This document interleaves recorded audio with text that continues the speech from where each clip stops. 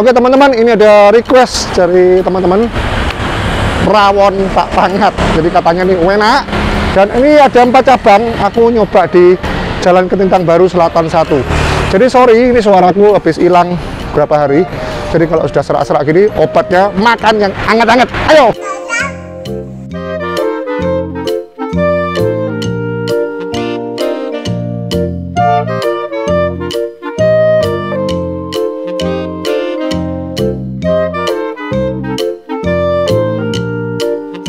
Oke, sebelum kita masuk, ternyata Pak Mangan itu ada dua tempat. Yang satu di tempat yang tadi kita lihat ya, di sebelah sana.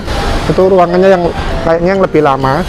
Terus di sini ada juga lebih ini ya, ukuran kayu ya. Ini katanya kalau penuh, sebelah situ bisa makan di sebelah sini. Oh, pas ada yang punya kayaknya. Selamat pagi, Pak. Pagi mas, Pak. Sik, sik, duduk sik. Oke, selamat pagi, Pak. Pagi, Dengan Pak. Pak siapa? Sorry. Dengan Pak Yudi. Pak Yudi. Iya. Pemiliknya ini ya. Saya anaknya pemiliknya. Oh anaknya langsung Iya. berarti ya. Oh ini kalau berarti dari generasi papa ya, bapak, Dari bapak. taksi Bapak, benar. Jadi tahun berapa itu? Dari tahun 69-an. Wih, aku belum lahir itu. Udah lama. Udah lama banget. Nah ini terakhir ini udah sampai berapa cabang? Terakhir baru 4 cabang. Empat cabang, baru empat cabang. Rencana berarti memperluas. Tapi Surabaya semua ya? Surabaya semua. Ada rencana untuk keluar kota gitu? Masih belum. Belum ya? Luar kota Pak itu cuma sini Sidoarjo aja. Oh iya iya iya. Terus ini spesialnya apa? Rawonnya itu tak lihat di menunya itu ya. Ada nasi putih, kuah rawon, empal suwir. Yang spesialnya itu ada Nah. campur. Rawon campur. Nah biasanya kan rawon itu ada daging itu loh. Iya, kita nggak ada. Oh enggak ada. Jadi Kita bikin kreasi sendiri. Yang Oh. Biasanya dagingnya kan di foto ini kita di suwir. suwir. Iya. Oh, ada empal suwir Kalau sama kuah. Sama kuah rawon. Nah, itu ada menu krengsengan loh. Iya, ada krengsengan juga. Kalau yang paling lengkap itu yang nomor tiga, ada empal suwir, krengsengan. Oh, dicampur sama Bali ya. Iya. Jadi krengsengan yang dagingnya utuh krengsengan itu Iya, sama kuahnya sama- dicampur. Benar. Wah, ini kita mesti coba. Jadi ini rawonnya unik banget. Beda ya, nggak ada tempat lain ya sama kayak gini. Iya, nggak ada. Kreasi sendiri. Oke, ini jam bukanya jam berapa sampai jam berapa? Jam bukanya untuk cabang ini jam 6 pagi udah buka. 6 tutupnya- pagi ya, pagi banget ya. Tutupnya jam 8 malam. Sampai jam 8 malam. Kalau cabang lainnya beda-beda ya. Untuk cabang lainnya yang beda cuma di Pasar Wonokromo. Wonokromo. Bukanya sama tapi tutupnya jam 5-an. Oh, sesuaikan harga pas apa sesuai jam pasarnya Iya, ya. pasar. Yang lainnya sama semua kecuali pasar. Wonokromo. Wes aku nyoba apa ya? Nyoba yang krengsengan ya. Sama empal suwir itu ya. Oke, terima kasih. Ini makan di sini bisa nggak nih? Bisa. Sana penuh tadi soal. VIP sendirian ini. Pokoknya Mau dipisah apa langsung? Di- Pisah aja nggak apa-apa ya. Oke, sip. Ayo kita coba. Yoi, di subscribe dulu ya. Jadi teman-teman, don't worry anymore. Teman-teman bisa terus update review kami yang selanjutnya.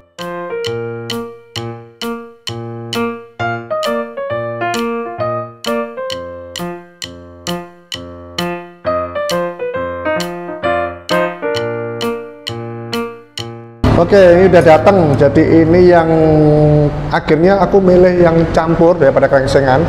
Jadi bedanya ada tambahan bali tahu.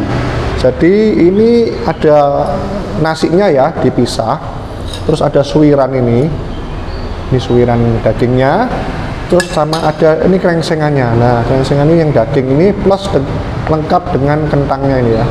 Terus ada sambal, oke, sama tahunya nih. Nah, tahu Bali nih. Ya sama dikasih tempe ya. Terus sama ada kuah rawon. Nah kuah rawonnya kayak gini. Ini ya sudah kuah nggak ada apa-apa kuah rawon. Jadi ini dikombinasikan sama krengsengan. Itu ciri khasnya rawon di sini. Terus dikasihin telur asin ini. Ini terpisah tapi ya ini nggak masuk ini beda. Nanti terserah mau dimakan apa enggak terus aku nyobain tadi aku, kan tadi pesen cuma ini doang. Terus ternyata katanya sih waktu di sana ada tambahan menu. Nah ini menu baru ini iga rawon iga. Di dinding itu nggak kelihatan karena masih baru ini yang nanggung sudah ke sini ya tak cobain sekalian. Jadi ini buat obat batuknya supaya nggak serak-serak warai. Makan angan-angan kenyang pokoknya enak gitu ya. Ini ini menu baru ikan nih. Wes mumpung di sini kita cobain aja semuanya. Terus nasi putihnya juga ini dengan tempe di tengah-tengah ini ya kayak gini. Sedang sambal sama toginya dipisah seperti ini Oke, kita nyobain lang langsung yang ini aja ya, yang menu lamanya dulu ya. Jadi ini rawon krengsengan. Nah, jujur selama ini aku bukan penggemar rawon, cuman karena ada rekomendasi katanya rawon enak. Jadi yang selama ini kalau aku nyoba rawon yang katanya enak, betul-betul ya aku rasanya enak gitu ya lumayan suka tapi kalau enggak aku enggak suka banget nah sekarang aku nih pengen nyoba walaupun aku bukan penggemar rawon tak coba apakah ini juga enak apalagi kalau dikombinasi krengsengan krengsengan aku suka. Nah rawon ini biasa-biasa aja. Nah, kalau dikombinasi kayak apa? Apakah terjadi spesies baru? Rawon krengsengan kita cobain ya. Kuahnya dulu. Ini kuah rawonnya. Ya lumayan sih kuah rawonnya. Jadi bumbu-bumbunya kerasa, tapi seperti kayak rawon biasanya. Dan yang bintang utamanya ini krengsengannya nih. Kita cobain. Oke. Oh ya, dagingnya empuk banget dong. Aku ngigitnya pakai bibir aja, nggak pakai gigi, udah merotoli. Dan bumbunya bumbu manis. Ini bumbunya yang tadi ketinggalan. Nggak makan ya. enak kan sekali bener ini aku udah pakai kuah rawon udah enak kayaknya ini. Tak dulit-dulitin sambal situ ya. Hmm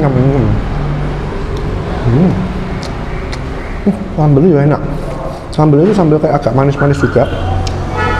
Ini rasanya ini perkawinan antara gurih dengan manis ini kayaknya. Dan ini kentangnya. Ini aku udah makan pagi nanti siang makan ini tengah-tengah aku jadi lapar lagi. Wah kacau ini banyak makan ini. Hmm. Wah. Hmm. Sampai lupa rawon nih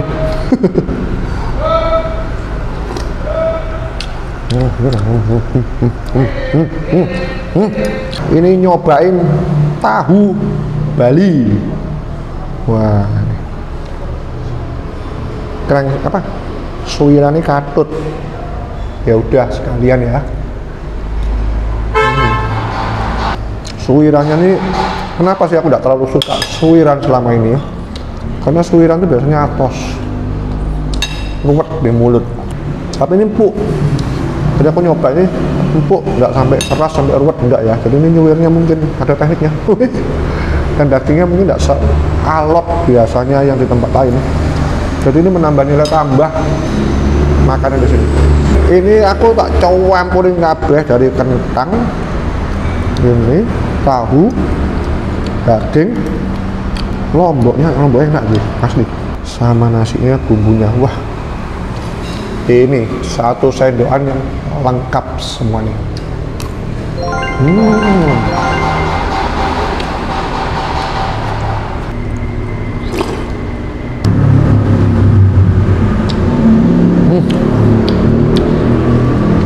Waktu keringan itu bumbunya semua nyampur. Oh, enak banget. Cuman ini sorry waktu tak campur sama rawon kayak tabrakan gitu ya. Jadi ini aja udah dicoba itu udah enak banget. Bumbu ini udah balance semua manisnya pedesnya ada gurihnya dikit dan itu enak banget.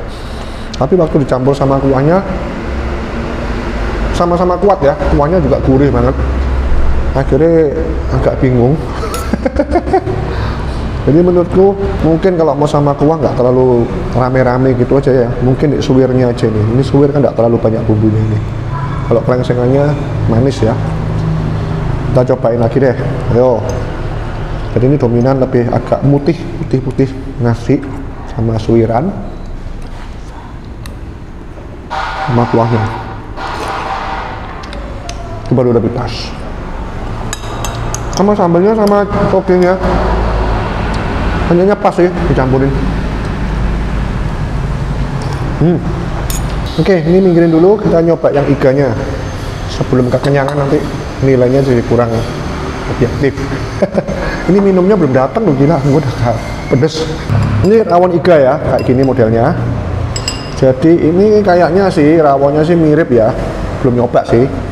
Cuman bedanya di dagingnya ini iga mungkin yang nggak terlalu suka manis-manis krengsengan tapi pengen dagingnya mantep. Ya ini ini iga ini.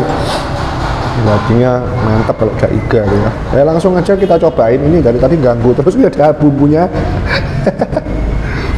Oke kuahnya dulu ya.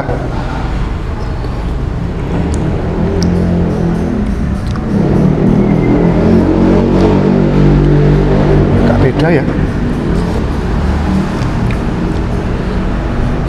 agak beda ya. Ini mungkin apa karena direbus sama iga ya? Jadi kayak agak medok gitu kuahnya ya. Beda sedikit. Coba coba lagi. Ini perasaan doang atau apa ya? Hmm. iya loh. Ini lebih ini jadi meskipun sama rawon ini karena mungkin direbus sama iganya jadi ini kuahnya rasa kayak bumbu dagingnya tuh lebih kental dikit rasanya ini kita nyobain di iganya. Iganya dari kelihatannya sih tidak empuk genjur-genjur gitu ya. Aduh.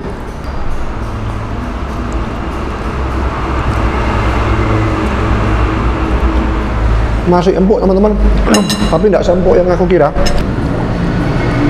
Hmm. nah ini tadi kenapa saya tidak nyoba tempe? Karena satu saya tidak terlalu doyan tempe.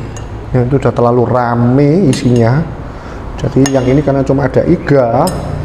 Makanya tak coba tak campur-campur sama tempenya. Nah, jadi biar nggak terlalu rame ya rasanya. Nih.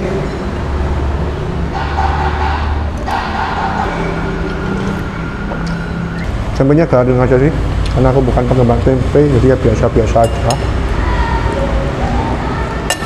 Ini kan ada disiapin telur kita nyobain aja telur asinnya di sini kayak apa. Tadi di tempat sana tumpuk-tumpuk sih telur asinnya. Kayaknya juga semoga juga jadi ciri khas. Cukup enak telur asinnya. Lihat warnanya sih oke. Okay.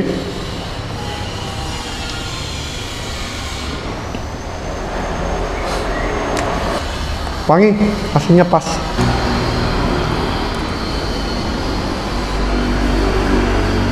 Ini sedikit agak keras ya yang ikannya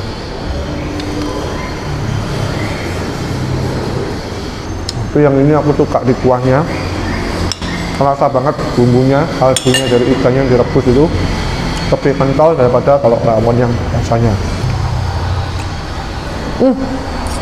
Nah ini dari tadi duduk manis gak dikecerut sama sekali.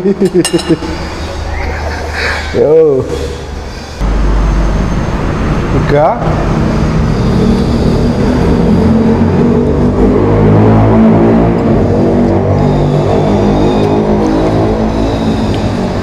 Rawonnya jadi ada kecut-kecutnya sedikit unik. Tapi mending jangan dicampur jeruknya. Lebih enak rasa aslinya. Nih, kayak toge ya. Hmm.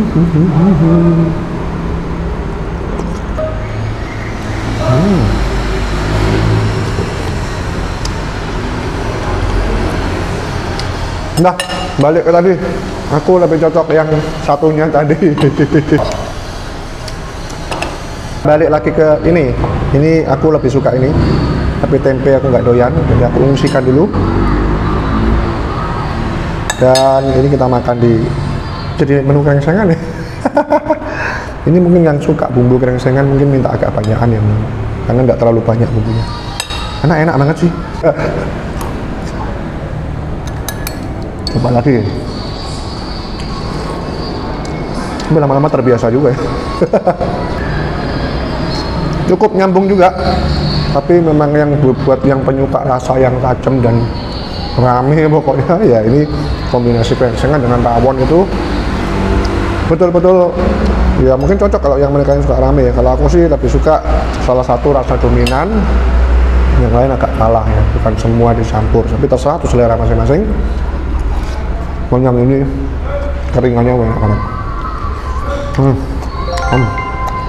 mak kentangnya aku doyan cuma satu ya.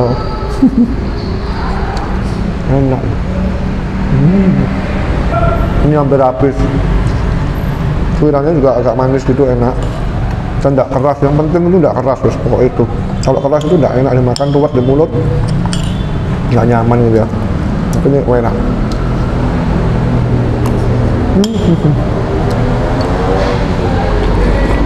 lumayan kenyang jadi waktunya ngasih skor. Jadi ini lo- lokasinya memang tadi di sebelah seberang itu ada rumah sakit. Nggak jauh dari rumah sakit. Baru ada rawon ini di seberangnya. Jadi untuk sakit serak-serak tadi daripada ke rumah sakit mending makan. Hangat-hangat lumayan enak sekarang soalnya udah agak sembuh. Oke ini skornya 4,2 teman-teman. Jadi lokasi sih termasuk mudah ya sama kemudian parkir ini yang agak kurang jadi tempatnya cuma di depan gitu aja di depan ruko.